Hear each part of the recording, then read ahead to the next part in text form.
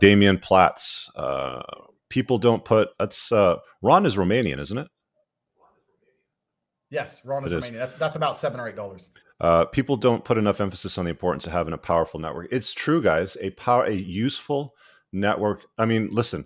I know Paul, not Paul. I know that uh, Andrew has his war room. I've got my own community. Um, people will will will flick boogers at these things, but they don't understand the power of the network and what happens unless you're inside it and you see the use of it and you see the connections that are made and and and the work that's done beyond that. I know because um, I've talked to Andrew privately a few times that there's a lot of useful stuff that happens in men's communities, especially high level men's communities where you have top shelf men.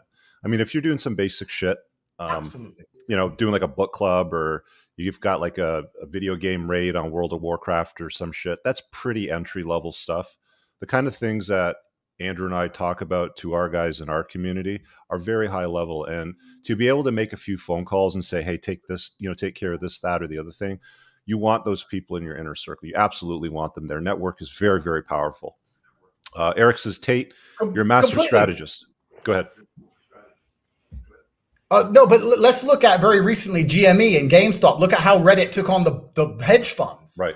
People are going to sit there and laugh at your network or my network when a bunch of Redditors got together and, and bankrupted a hedge fund. Right. That's the power of networking. Yes. That's absolutely the power of networking. That's all it's ever been. And and you know, it's it, I love the idea of being able to go to a group of people who I can trust with with a problem before I have to go to Google or any other crap and get it solved. Right. Anyone who's going to sit there the truth is, anyone's going to sit there and and and make fun of networks. They're just self-conscious and they don't believe they're going to be accepted into a network because they're a self-conscious individual. That's all. They usually have, you know you have value to provide. yeah. Want, the first thing you want to do is find other high-value guys. That's all exactly. you want to do. Exactly. They usually protest because they can't afford the admission or they think that there's dodgy things. It's it's it's usually just because they don't fit in it. And it's like fine, you know, if you don't fit, then don't fit. But come back, you know, if you want to, when you when you're a good fit. You know, it's it's not difficult. Eric, one more. You said something really important there. Uh, yeah, go ahead. You said about not affording the price of admission, and that's mm-hmm. another thing that I find very interesting is that when you speak to a person who is of low quality, right? And when I say low quality, I don't even mean income because I'm from a low income background. I mean a low quality person. They think in terms of win lose because mm-hmm. their whole life they've either been scamming someone or being scammed. So when they look at a network like yours or mine, they sit there and go, well, maybe it's a scam. Maybe he's going to take my money and I get nothing back. What happens when you meet with elite people is we all think in terms of win win. It's a different mentality, right? So the win win mentality is me and him are going to work together and we're both going to win. There doesn't have to be a loser. Amongst the elites, when elites work together, it's always win win. The pharma company and the government are working together right now. It's win win. Don't worry about it. Nobody's losing, right? Except the people outside of the transaction.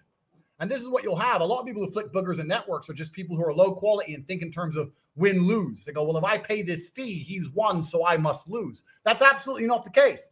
If you pay to join Richard's network or my network or any network or whatever it is, that's okay. The person who got you to join may win, but you're going to win in exchange also because you're around high value individuals.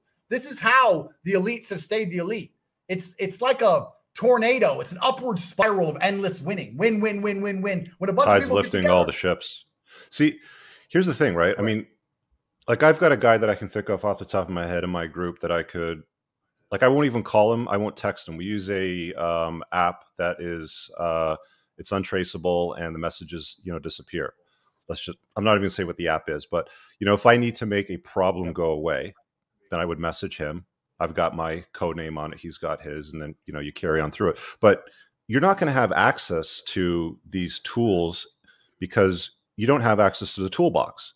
And if you want access to the toolbox, you have to pay the admission. Like if you're not, you want to be the dumbest guy in a room, basically, when it comes to a network. You don't want to be the smartest guy in the room you want to be the new guy you want to be right. you know the guy that shows up. And when you show up you don't want to show up asking all the time either right? Gimme gimme gimme gimme gimme gimme gimme.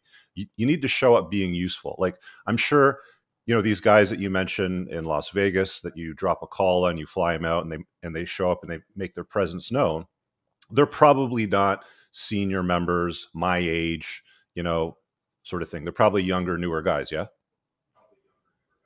Yep Exactly. And this is the thing. And you yeah. nailed it as well in terms of asking. A lot of people don't understand the value of networking because listen, when I was young and broke, I would have done anything to just be around important people. You have to know your place. And, and also by providing value, you learn a lot.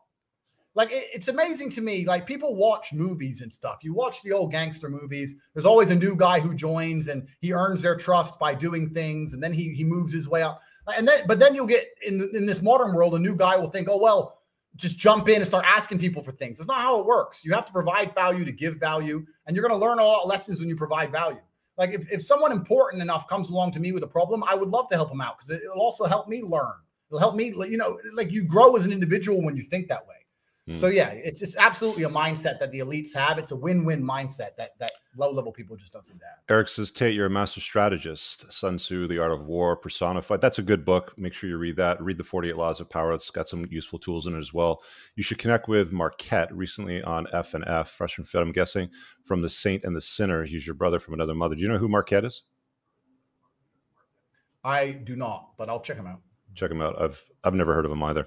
Uh, Action Movie Clip says, "Hey, Rich and Tatum, 20 years old, living in America with only 1500 in my bank account, working nine to five. What's the best way to start making more money and how I get around high level individual?" Okay, you want to take this one?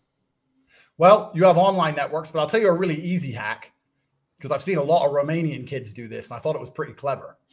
Have you ever been to? So what happens in in Eastern Europe? If you go to a car meet these kids turn up, these 19 year old kids with these amazing cameras, and they offer to take pictures of the cars, and they often offer to take pictures of you and the cars, and, and they build these Instagram pages of like uh, car fan pages.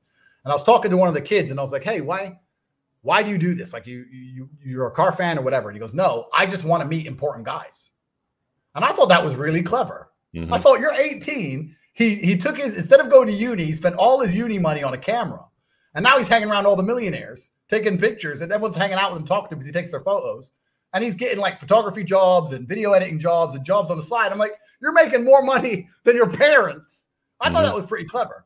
But that's no, that, a little, it's pretty smart, no? Yeah, that's a great way to put it. And I've often said to guys, you know, if you can join a car club, a, a car community, I mean, obviously you're not going to get in with the hypercars and the supercars, but if you've got a few bucks to you know rub together and you can buy a twenty or thirty thousand dollar decent, you know, a performance car, a BMW M, a AMG Mercedes, like something like that. Um, start going to those clubs. There's going to be people at those events with supercars, with doors that go up. There's going to be people that you might have an opportunity to photograph. You know, like Andrew said, that's a great way to get into it. I mean, the big mistake that most guys make and I'll tell you this because I get it all day long. I'm sure you get this too, Andrew. Is can I pick your brain? Can I get 15 minutes of your time? Hey, can I ask you a question? Oh and gosh, yeah. I mean, like you've got a entry level club that people can get into. I think it's called the Hustlers University. It's like 50 bucks a month. Correct. Yeah. So, I mean, there's that. The, the price of entry is relatively low. Or you could just show up to places and make yourself useful. And instead of asking, can I pick your brain? Because what rich people usually hear is this guy wants to steal my time and pick my pocket. Okay. They don't they don't think to themselves yeah. like, you know, okay, I need to help this guy because he's got nieces, nephews, sons, daughters, he's got family members, he's got, you know, his his his friends' kids that he tries to help out. So if you're a nobody to them and they don't and they don't know you, show up being useful first, helping them solve a small problem offer them a photo shoot with their car you know that day if that's something that you can do you know that's one thing that you can do but don't show up asking show up giving to begin with if you know you want to start with something like that